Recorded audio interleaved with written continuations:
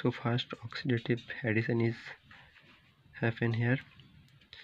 So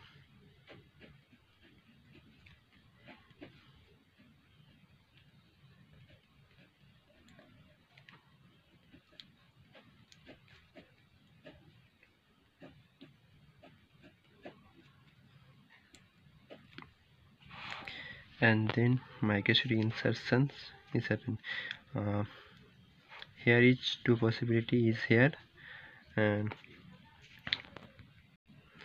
according to the uh, Baldwin law we know five member ring is more stable than the six member ring and three member ring is more stable four and six member is seven eight and also we know the fused ring is more stable than the bridge.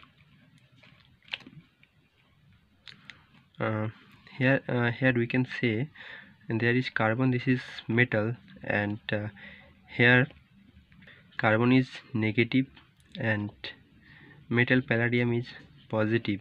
Uh, so this is transformed into this here and we can write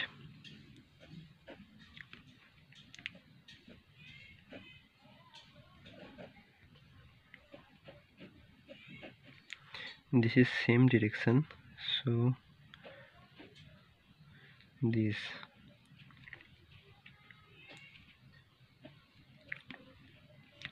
Hydrogen opposite direction and also the palladium is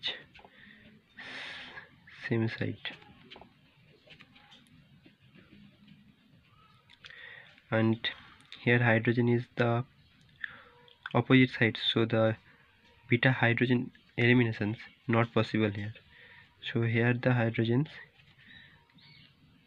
the way insertion is possible. So the structure is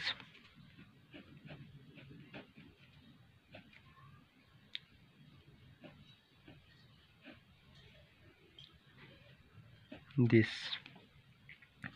Here hydrogen here me group and double bond here